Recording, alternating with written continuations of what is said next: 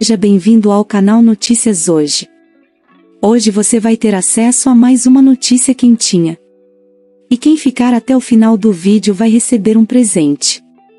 Lima Duarte e Suzana Vieira serão demitidos da Globo. Não vão poupar ninguém.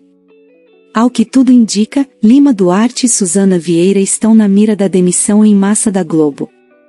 Além desses grandes atores, Outros nomes também estão sendo cotados para saírem da emissora dos Marinho. Não vão poupar ninguém, a ordem da Globo é que todos fiquem sem contrato, exceto aqueles que estão em novelas, revelou Alessandro Lobianco, no programa A Tarde é Sua, de Sônia Abrão.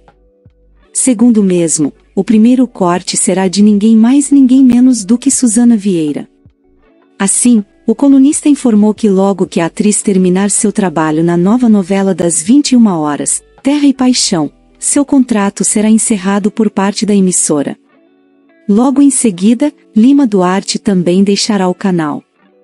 Até o momento, a Globo não se pronunciou sobre essas especulações que estão tomando conta da web.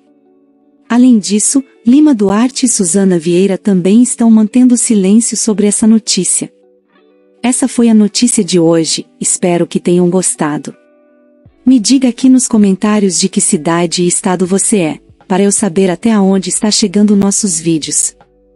E agora para você que ficou até aqui, vou te entregar o presente como prometido no início do vídeo. Para acessar basta clicar no primeiro link na descrição abaixo. E se você não se inscreveu ainda no canal, aproveite para se inscrever, e ative o sininho para não perder nenhum vídeo. Te vejo no próximo vídeo.